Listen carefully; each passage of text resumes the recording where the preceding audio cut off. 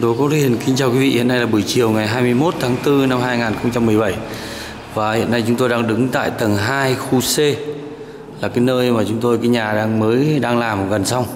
Thì lúc này chúng tôi ờ, đang có một khách hàng từ cầu họ Nam Định thì uh, ông cụ ở nhà đang dặn là đi tìm một cái sập thờ nhưng mà anh lên anh ngắm thấy chiếc ô sa này bằng gỗ vụ và anh cảm thấy cũng rất là hoành tráng cho nên tôi sẽ quay cái chiếc này để cho ông cụ ở nhà tí nữa sẽ đăng lên để cụ ở nhà sẽ xem. Thì báo cáo quý vị là OSA là một cái mặt hàng mà chúng tôi đã làm từ lâu. Và cả một năm ngoái thì hầu như bận rộn không kịp lắp lên. Tức là do cửa hàng tôi lúc trước thì chưa đủ các khu cho nên là không có điều kiện để lắp lên hết. Còn thì những cái này chúng tôi trong những cái bản tin mà cập nhật về phần bán hàng ấy, thì từ cách đây đến 10 năm chúng tôi cũng đã bán các cái hàng này rồi. Và cái OSA này thì trên mặt của nó là ván là dày là chúng tôi xẻ hai phân. Và đây đây văng đang là ván liền. Với cái kích thước mặt anh đấm xem nó rất là dày. Kích thước mặt là sâu 88 và dài 2m17 và cao 1m27 ở từ trên dưới nó có phần ô ở giữa là à, các cái ô này là bầu rượu túi thơ. Ở bên dưới nữa là cuốn thư tượng trưng cho văn võ song toàn.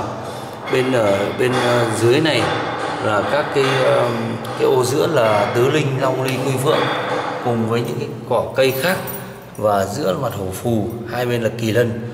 Và chỗ này là ờ, đôi ngư ngư nhưng mà cách điệu có cả cánh. Cho nên là tất cả các cái hoa văn này. Rồi bên này nữa, bên đầu hồi. Bên đầu hồi ở giữa là hổ phù, ở trên là cái dọ quả đào.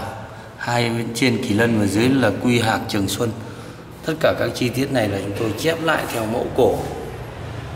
Và những ô sa thì uh, trên thị trường đa số mọi người làm bằng gỗ mít xong là sơn son thép vàng và bên ngoài là để ô kính. Nhưng mà cái hàng này chúng tôi là làm kiểu khác tức là làm bằng gỗ vụ và đánh trần đây vẫn nguyên chất nguyên vân gỗ đây. Và trong các cái ô này là rất là sạch sẽ và không ô kính.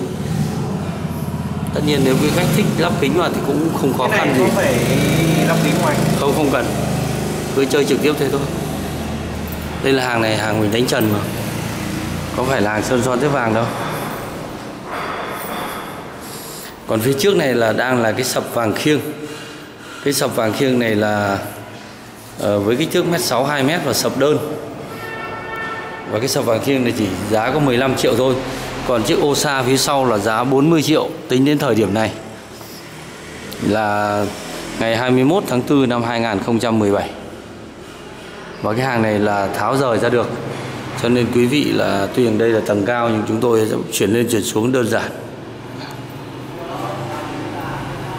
Ngoài ra thì ở khu C này chúng tôi hiện nay đang còn rất nhiều hàng nhưng mà sẽ hẹn gặp lại ờ, quay lại những cái sản phẩm khác trong clip khác. Cảm ơn quý vị.